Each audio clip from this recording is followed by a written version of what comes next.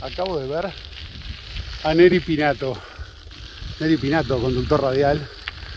Que yo sabía que él tenía, pues lo ha dicho varias veces, que tiene casa en Quillú. y yo pensaba, pensar que el otro día dije que no me gustaba Quillú. Pero acá la franja contra el mar está buena, está muy buena. Una casita frente al mar está muy buena. Y no me lo, y no lo, me lo encuentro justo. No lo quise molestar, pero lo vi, lo saludé, me saludó. Está y seguí de largo, no voy a estar molestando un sábado mañana. Déjalo en paz. Pero claro, acá es otra cosa.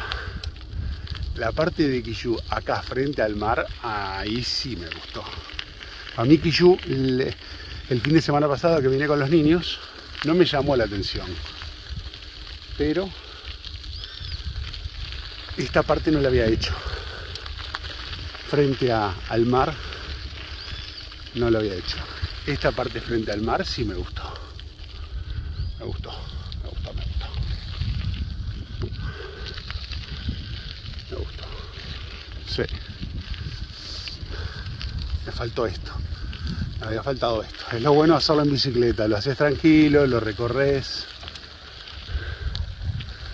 Y esto está muy bueno.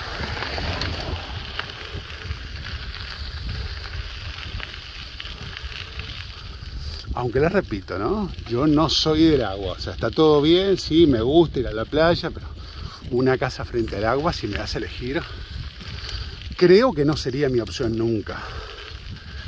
Ese constante movimiento no es algo que me guste, no me da paz, no me da paz.